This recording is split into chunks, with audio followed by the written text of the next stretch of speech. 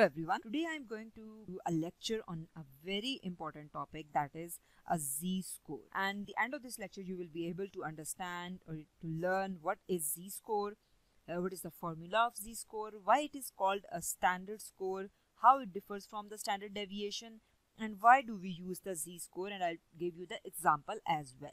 So we'll start with the definition of the z-score. What is z-score? Z-score is basically a way to compare the results or data points from two different normal distributions. Now, very important thing here is you have to understand the words I have used in the definition. It is used to compare the results or data points. Main thing is the individual data points in a distribution and those data points should be from two different normal distributions. Different word is very important. Z-score is basically used when you have the two distribution and that are different from each other. Different means their standard deviation differ, their mean differs, but we can compare the score of those two distribution or the values of two of uh, those two distribution. I'll give you the example as well. So stay tuned till end so you can understand how you can compare. So you, we usually um, miss thing uh, miss this thing while understanding the z-score that the two normal distributions should differ from each other so that we can make the comparison of the uh, two different distribution using a z-score. So another de definition that is associated with the z-score in terms of its formula is it measures how far a data point is from the mean in terms of standard deviation. It means by using the z-score you can calculate or you can find how far a data point. It means we are concerned with the with the each data point while calculating the z-score in a distribution. And we have to measure how many standard deviation that data point is from the mean. Let's have a formula so that you can easily understand this definition as well. So the formula of the of the z-score that is if you want to find the z-score from the uh, raw score or from any data point from of the distribution. A distribution uh, basically consists of 10, 20, 30, 40 and up to so on data points. And you want to find the z-score of any single data point or of all the data points, then you need a formula. So the formula that will be used is z is equals to data point of to which we are going to convert into the z-score data point, the value of the data point minus mean divided by standard deviation. So if we place all these by the symbols as data point will be represented by x and the mean by mu divided by the standard deviation x minus mu divided by standard deviation and standard deviation represented by sigma by the letter sigma. So this is the formula of the uh, of the z-score whenever you need to convert a single data point into the uh, into its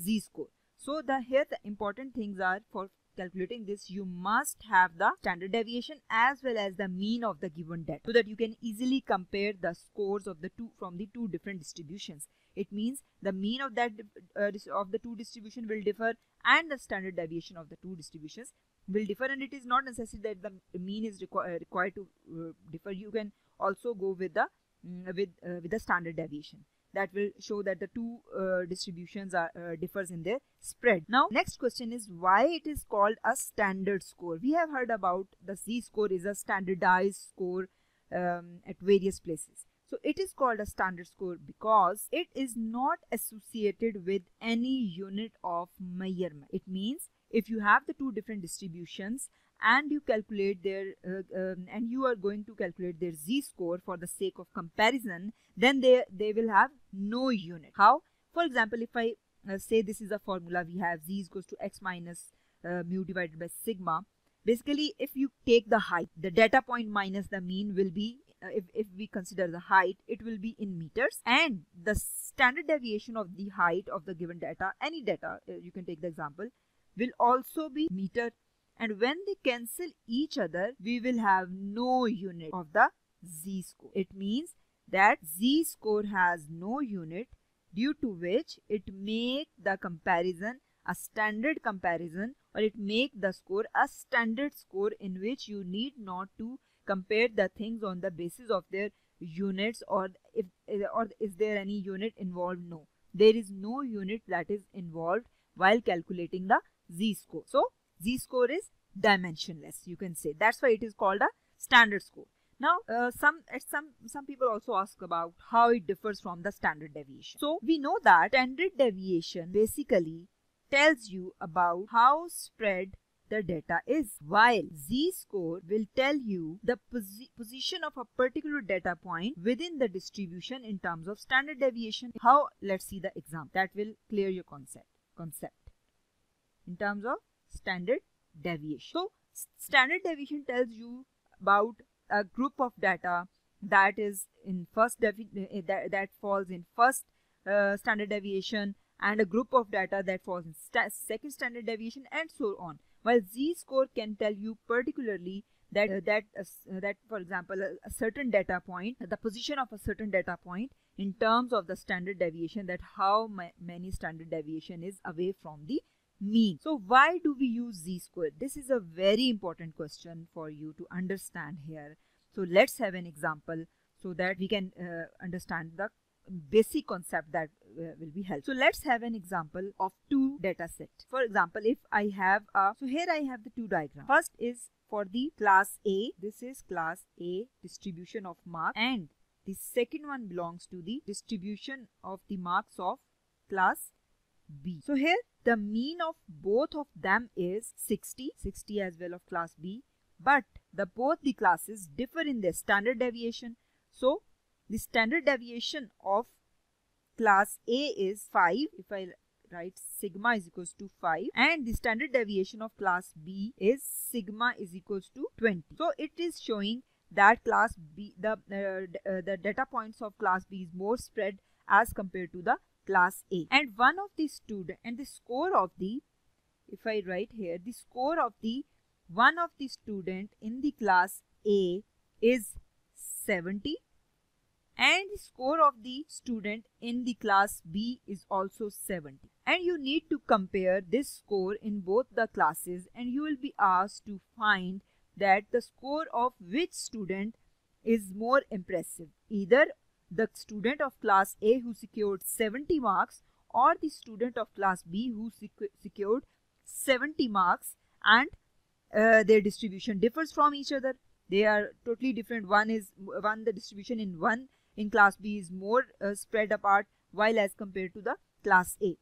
So for finding this we need to calculate their so for that purpose we need to calculate their z scores so let's calculate their z scores and compare. So here we will have a z score of class a. Let's calculate it first and then the z score of class b. So in class a how we will calculate the z-score? Z is equals to the data point is 70 and the mean is 60 divided by the uh, sigma that is standard deviation divided by 5 we will get 2 then in the class b the z-score of the data point 70 will be 70 minus 60 60 is the mean divided by the standard deviation that is 20 so it will be z is equals to 0.5 so keep this in mind here the signs are very important here we have a plus 2 and plus 0.5.